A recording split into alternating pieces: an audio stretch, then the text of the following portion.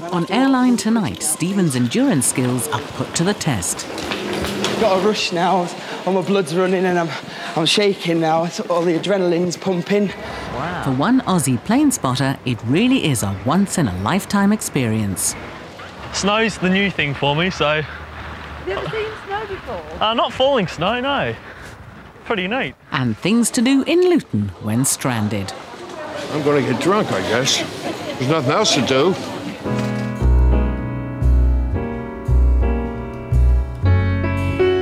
Come fly with me, let's fly, let's fly away. If you can use some exotic booze, there's a bar in far Bombay. Come fly with me, let's fly, let's fly away. For check-in attendant Stephen Elwood, it's going to be one of those days. Yeah, and can you get them to phone me straight away on the sales desk? Yeah, because we've got six LMCs for the Edinburgh on it. An incoming flight from Geneva has been slightly delayed. That means trouble for a group of passengers on board who need to catch a connecting flight to Edinburgh. I'll bring them round to check in. Right, I'm going to go to departures. I'm going to bring them round myself. I'll explain to them while we're running through that they have to leave the bags if they want to get on the flight. If you want to come through, I'm going to be about five minutes or so, OK? Stephen needs to get the passengers through arrivals and across to departures in time for the Edinburgh flight. Okay, one, two, three, four, five, six. Everyone got your passports? Yes. All of you? yeah? Okay, we're going to have to walk really quickly now, please. Okay, where's your wife, sir? Is your wife there, yeah? Okay, let's come on.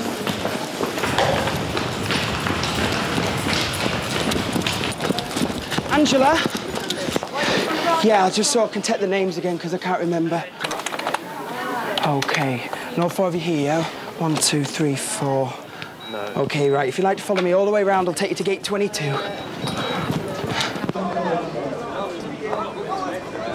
Heathrow Airport. Luke Chittock has just flown 10,000 miles from Australia for a two-day holiday with a difference.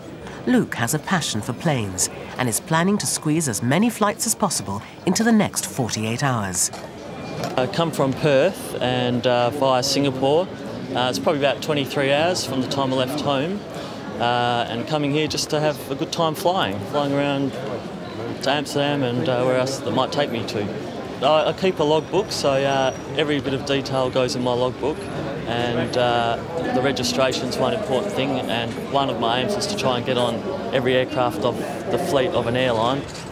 With two sectors or flights already under his belt, Luke will now spend his holiday flying EasyJet. Luke's first flight is from Luton to Amsterdam.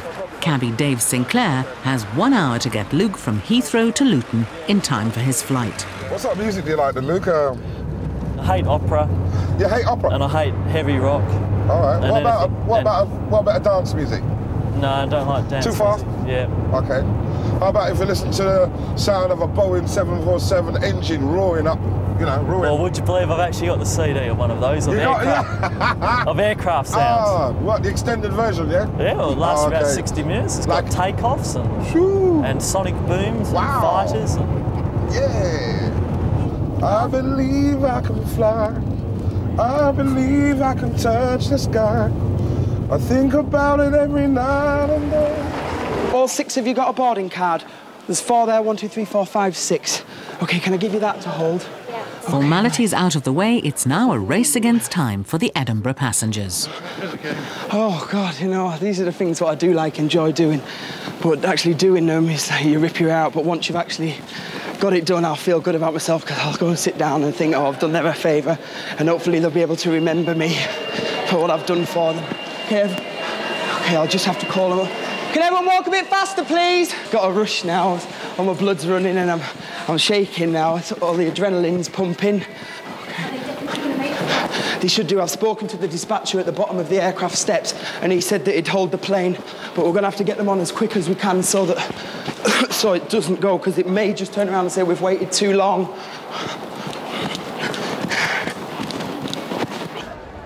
Luke has managed to check in for his Amsterdam flight just in time.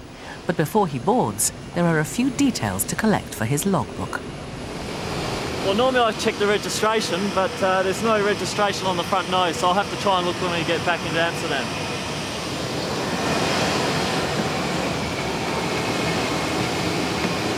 So um, I've just TOD's top of descent, so we've started our descent at 11.43 and uh, then touchdown time I'll fill in when we're on the ground. Not everyone in the airport is having such a good day. Back at the sales desk, Leona has her work cut out. Hiya. Hey, is this EasyJet? Yeah, it is. Oh boy, I want to get to Edinburgh. Have you booked a ticket? I got a ticket. On the later one, have you? Yes. Have you got your reference number on here somewhere? Oh, it's I'm blind and I have to write like this. I get so many pieces of paper I don't know one from another. So what Former flight are you actor? Harry Richardson is booked onto the late Edinburgh flight, but he's hoping he can switch onto an earlier plane and save himself a five-hour wait. To buy a ticket? You No, I got a ticket. For this flight? No, for the 20 of 8. Oh, no, wait a minute. Is this it? Yeah. We'd have to pay to transfer onto this one, I'm afraid, and it's a lot more expensive. £90 extra. No, I only paid 80 for the whole trip. Yeah. The seats, this Return. flight's practically fully booked. You paid £20 for your seat. They're now selling at £100. So you would have to pay the £80 difference plus £10 transfer fee. It's £90 extra. No, I'm not going to pay that. You're just going to hold on, are that. you? I don't have it. It's the policy, I'm afraid. The last few seats on the aircraft are at the top, top fare. That's how the price structure works. Boy, this is a hell of a racket. I better get in this thing. Yeah, I'll have to get in this thing. This sounds like good money. But I'm blind. I can't. Hey, thanks a million. Okay. So I have to pay a hundred pounds to get. Uh, £90, unfortunately, this flight's really full today. And that's why it's so much extra. oh yeah. When it's going good, that's when you hit them, right? Sorry. Back in the terminal, Stephen has under a minute to get the Edinburgh passengers onto their plane. Everyone to gate 21, please. Excuse us, please. Okay. Uh, and your plane's still sitting there waiting to go back to Geneva. There's your bags, but we'll get those off to you later, okay? Mike, safe bother Oh, sorry. No, it's Sorry. I didn't honestly think that they'd wait. I'm ever surprised that they waited. Take care. bye bye. Thank you very much. Bye bye. Thank you. Don't worry about your bags. We'll get them taken to your house tonight, okay? Right. Oh, you have a nice flight. and Get have a quick pint on board, okay? Now, doing that is why I love my job so much. They'll remember me for that. Amsterdam. Canals, tulips, and red-hot entertainment. For Luke, though, there's much more to see at the airport. We could go out into the arrivals area, but um, it's more to see sort of um, airside, which means on the um, sort of customs, once you've gone through customs side. So just go for a little wander and have a look. It's a pretty big airport. Luke set his heart on a bit of aircraft viewing. It's not the best spot, but there's some aircraft there and there's no blinds, so we'll stay here for a while and see how it goes. Just sort of the goings on, the operations of an airport, so just anything and everything's good. Yes, look what they've done. No more viewing from here, so it's off somewhere else. Three hours later, though, Luke is tempted to leave the airport. Snow's the new thing for me, so Have you ever seen snow before? uh, not falling snow, no. Pretty neat. Would you rather be inside the airport or outside the airport? Uh, I think inside for the time being. It's fun though, snow. Hmm. Or just want to check it out again. Wow. Yeah, it's added the icing to the cake, that's it. Although the cake's not finished yet. At Luton, veteran Hollywood actor Harry is going to chance his luck again. Where's your makeup man? He may have toughed it out with Bogart, but it's going to take one hell of a performance to get on the flight without paying the extra £90.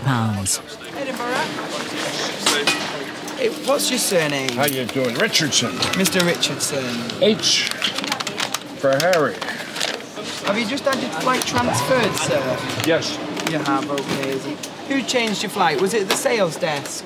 Because on here, we've got you going on this on the 20 I'm supposed to go later. Yeah, I want to go this way. Can I go this You way? certainly can. We've Yeah. got spaces available. Let me have a look on the system for you. Moving to Edinburgh. Okay. We've got quite a cheap fare as well Yeah. for your flight. Um, 20 past four. I think it's going to cost you about £30 to transfer onto this one. If you go and speak to Leona, No, she I'll might... pay the 30. I'll give it to you. Yeah, okay. If you pop over and speak to Leona, Yeah. she'll be able to transfer transfer you onto this her? one. You do, yeah, because we were not Which one is she? Not that blonde, is she? Yeah, it's She's a blonde the one. bitch I've ever spoken to. We, if you've got a card, a credit card, we can pop it onto that. Yeah. Yeah? All right, unfortunately, you're going to have to speak with to her. She told me she wanted 90 pounds. £90. I said, what, what did you do? Have a fight with your husband or what? Oh, well, well, Yeah, she's she's- probably looked on her system and it probably is going to be 90 then, as she has more up-to-date information he's than I going to do. her then, right? I mean, god damn it, that's a good ticket, right? It is a good ticket, I 70 can't quid wait return. till 20 of 10. I'll never get a taxi home. I'll have to take a hotel and everything. You can't, come on, can't you? Get, I haven't got any um, passwords to transfer you, sorry. All you can do is just see if you can chat her up for a couple of nice lines, see if she'll transfer you. I but can't it's, talk it's to highly this one. unlikely. She's a shitbird. Has she rattled your cage? She, she turned me down flat. I mean, she's a real shitbird. I'm very sorry oh, Excuse about me. that. But Harry's prepared to try one last desperate gambit to get on the flight. I'll take you to dinner if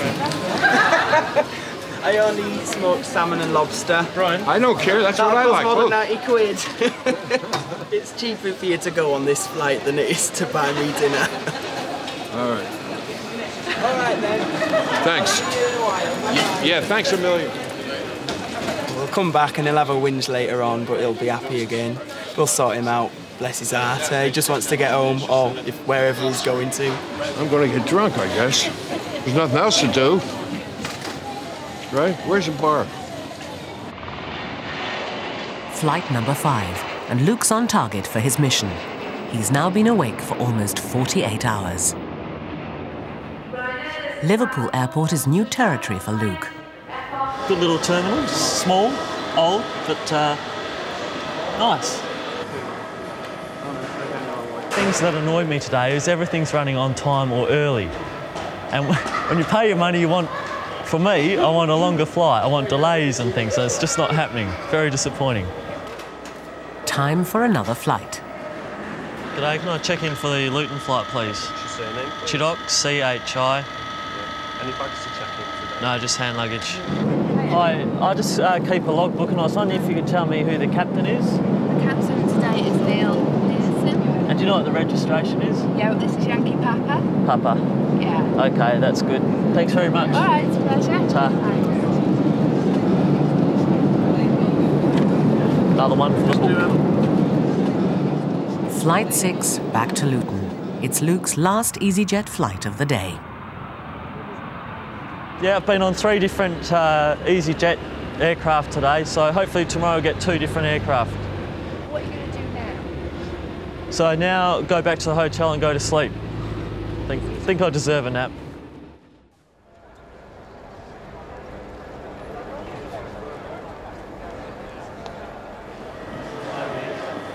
Hi, flight to Geneva. Fortunately, at the moment, there's a two-hour delay on your flight. That's due late arrival of the inbound aircraft from Geneva. The forgotten passport is a common problem in any airport, and today is no exception. Malcolm Irving hopes his wife will bring his before the delayed flight leaves. I've left my bag with um, passport in. Got everything else, but not the passport. I could go without it. But uh, so we're quietly panicking while she's on her way. It's just merely a matter of uh, time, and with eight minutes to go, it's um, getting a little bit close.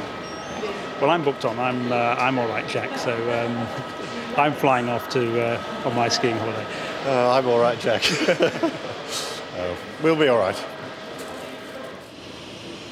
The delayed Geneva aircraft has now landed.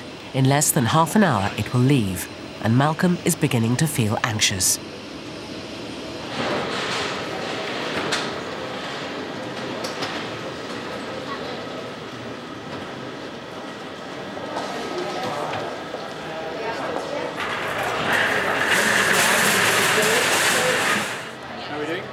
Can't get through on the mobile. Have to wait and see.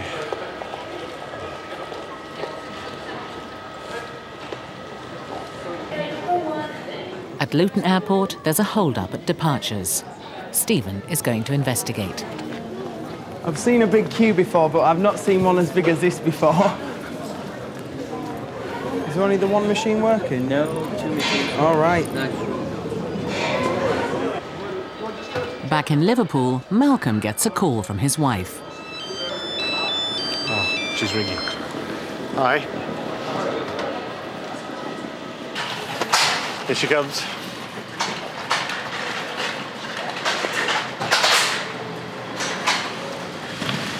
Great, thank you very much indeed. One very good driver. Speed ticket, probably. All right, I'll see you. okay, thanks dear, bye. We've done it by the skin of our teeth. But yes, with uh, barely a minute to spare, I think. But Malcolm and Andrew are not out of the woods yet. At Luton Airport, Stephen is delighted to discover the cause of the hold-up. All I know is that they appeared in departures. A passenger tried to get them on an aircraft today to take them to Mallorca, um, and but they couldn't do in a tiny little plastic tu- tub about this big. And um, I instantly thought, I'm going to have one of those. So I've christened this one. This one's mine, and he's called Piggly Wiggly. Supposedly what had happened was um, they walked through the main departure gate, put them through the x-ray machine, the security saw them, and um, we had to disclaim them off the passenger today. And the passenger left them and they jumped on the plane and off they went. I didn't see them getting disclaimed, but I don't think they would have been too impressed because they're quite rare pets to have now. And you need licenses for them. I think it's great. really, I'd, I've always wanted one and I've got one now, so I'm chuffed and I'll look after him. It's very nice. Luke has just arrived for the last day of his flying holiday. He's about to take his seventh flight, this time to Barcelona. But the air miles are catching up on him. Yeah, I was reasonably exhausted. Had about six hours sleep, I think, so that's enough. Recharge my batteries, ready to go. I'm looking forward to today is uh, going to Barcelona. It's a new airport for me. I've got uh, about um, two and a half hours in Barcelona, so I think I think I'll just stay at the airport again. Maybe go outside and see uh, how hot it is. See what the local people look like and stuff. Leave it like that, I think.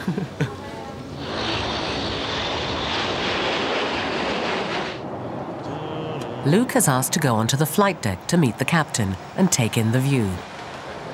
Nice view of the Pyrenees there. Oh, wow. It's quite a neat little airline. Everything runs on time. Seems to be reasonable. okay, see you later. Cheers. Bye.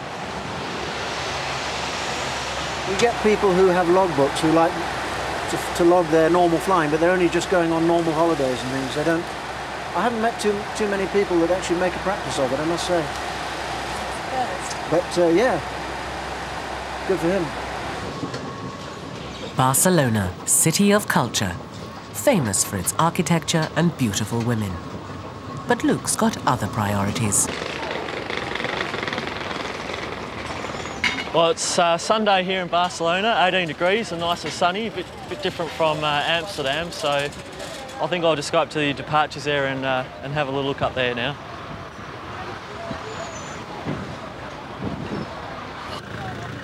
Meanwhile, back in Liverpool, the missing passport panic may well be over for Malcolm and his friend Andrew, but they're still waiting to board their delayed flight. There's yet another problem with the Geneva-bound aircraft. Now a Swiss stewardess has collapsed in pain and the paramedics have been called in to investigate.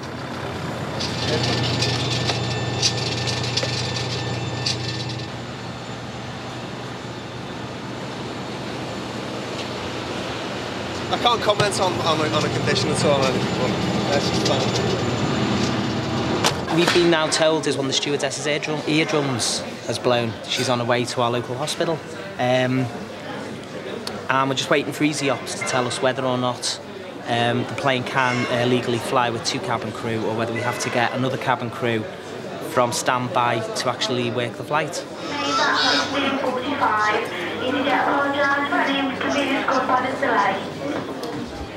As you heard, it's now gone indefinitely delayed. Um, what we keep doing now is just keep making um, further information announcements every half hour, keep all the passengers informed, and then we'll see what happens. I'm still not sure exactly what's happening myself. Well, there's the ultimate irony that after all that angst of uh, waiting for the last two minutes, we're now delayed 15 minutes, then 30 minutes, and now we're indefinitely delayed. So, all for nothing, dear. EasyJet regret to advise passengers travelling on flight EZY